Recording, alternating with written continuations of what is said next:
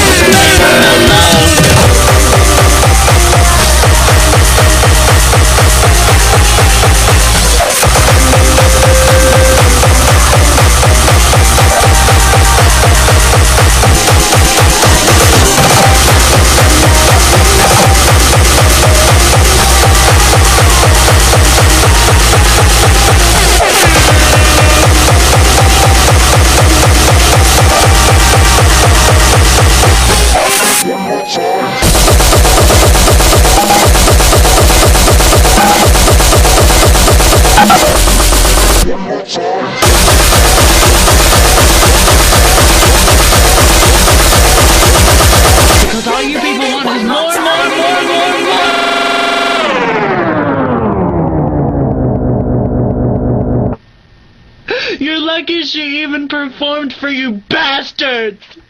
Leave Britney alone!